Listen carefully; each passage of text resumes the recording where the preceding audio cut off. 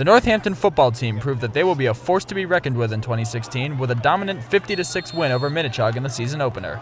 The Blue Devils came into the game as underdogs, but head coach Pat Slajiski said that his team was well prepared for the matchup. Uh, basically, this is a very pass-heavy team, which, believe it or not, really plays into our strength. Even though we're a running team, we're very fast. We don't have a single guy over 200 pounds on the offense. When we translate that to defense, we match up very well with their speed receivers. So we've been working for the past three weeks specifically on stopping Minnechaug, and the guys executed this perfectly. Northampton has been a run-heavy team in the past, but the Blue Devils went to the air frequently on Friday night as quarterback Ryan Braden racked up 147 passing yards.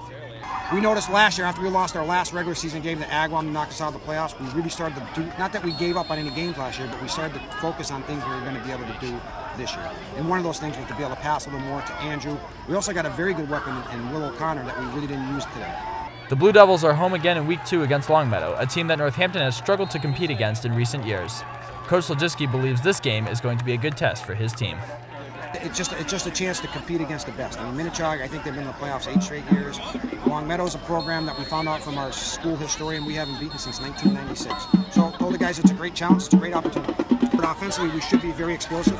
Defensively is where we got to keep getting better because we're small.